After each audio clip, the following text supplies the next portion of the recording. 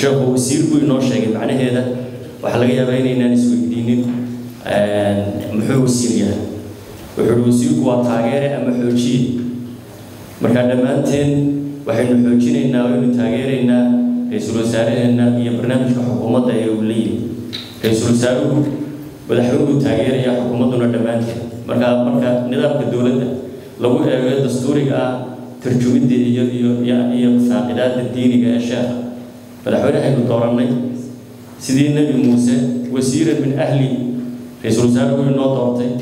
Ra'iisul wasaaruhuna inagu ina igmaday oo wasiiradii la shaqaynaya marka taasi aad ha inoogu duxdo wasiirku inuu yahay taageere shaqo taageeraya ka shaqeynaya ku xoojinaya waxaa kaluu inoo sheegay sheekhu ammaanada isla xisaabtanka mas'uuliyadda wadareed iyo in la wada shaqeeyo amniga dalka guud ahaan iyo ammaanada ummadda oo la ilaaliyo yaa mudan xil yaa darajo mudan ayaa uu sheekhu su'aal ah ina hordhigay oo hore nabigeenii suubanaa loo weydiiyey asxaabta mid ka mid yidhi xil isii oo yidhi daciif baatay waayo mas'uuliyadda kama soo bixi karti.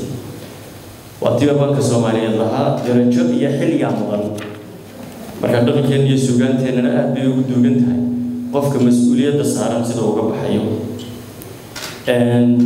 xisaab inaga dambaysana inay tahay uu sheekhu sheegay oo checkpointka ugu weyne qof kastoo aakhirad qiyaama kadib hor yaalla waa jidkaas iraadee la marayo ammaanadii baa lagu weydiinayaa ugu horeysa iyo riximkii oo bulshada isku xidhkeedii ah. Yacni riximku waxa weeye guri kasta guri kale marka lagu xidho bulsho wada wanaagsan baa halkaa ka soo baxaysa. Isla xisaabtanka aakhiro iyo isla xisaabtankii adduunka labadiiba inay hor yaalaan ina saaran tahay bidaana wax la yidhaa oo ah la taliyayaasha nimanka la taliyayaashiina aad iyo gabdhaha aad ay inoo dhegaystaan la taliyayaashaadu hadday wanaagsan yihiin waxaana sheegayaa heer wasaaradeed iyo heer xafiiska ra'iisul wasaaraha iyo xafiiska madaxweynahaba iyo dowladda guud ahaan haddii la taliyayaal wanaagsan aad haysatid waad guulaysanaysaa la taliyayaashu hadday ku qalloociyaanna waa waad jabaysaa runsheegga oo iyaduna mid maaragtay aasaasiyaadka dowladnimada yaa ayuha aladiina aamanuu taqu llaha wakunuu maca saadiqiin inkastoo runtii siyaasaddii waxaa lagu khalday turjumisteedii qofku siyaasiba ma aha haddaanu sheegin been markaa siyaasaddii waxaa loo yaqaanaa qofku inuu wax khiyaameeyo inuu wax khaldo inuu wax maaragtay la kala hadho saa waxaa la gaadhay in la yidhaa masaajid kama shaqaynee siyaasad baanu ka shaqaynaa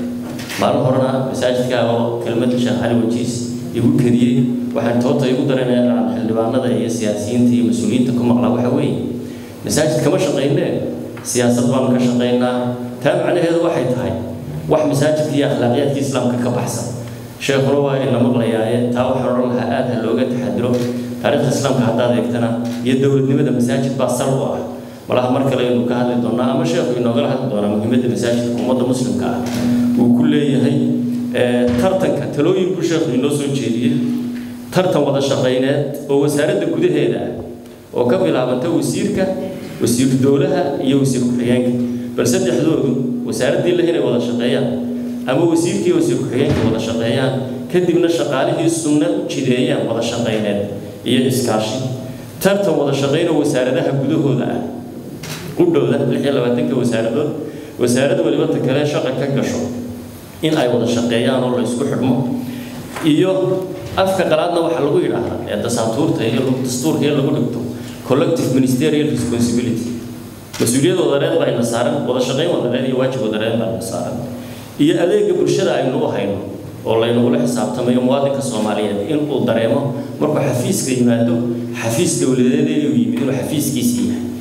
Mas'uulku uu adeega yahay ee aanu ahayn nin ka adeegta muwaadinka soomaaliyeed waajibka kale. Iyo xurmayn iyo ixtiraam muwaadinku inuu ku yeesho. Sheekha ilaahay ajar iyo xasanaada ka siiyo intaasaan ka soo ururiyey. Khudbadiisii furitaankii wacdiga ahayd iyo kelmaddii wacdiga.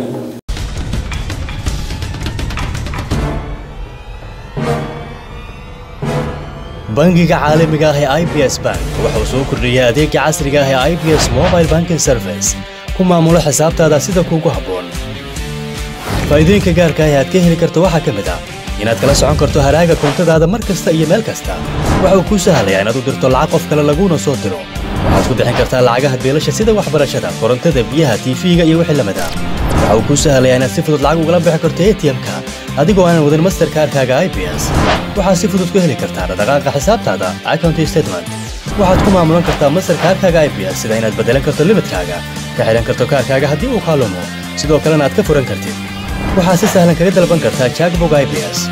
Isticmaalka iyo adeegsiga i b s mobile banking waa ammaano laysku hallan karo. Ku maamulo xisaabtaada sida kuugu habboon. Adigoo isticmaalaya i b s mobile banking. Dooro sahlanaan kadegsiimaya ammaano ku xirnow s bank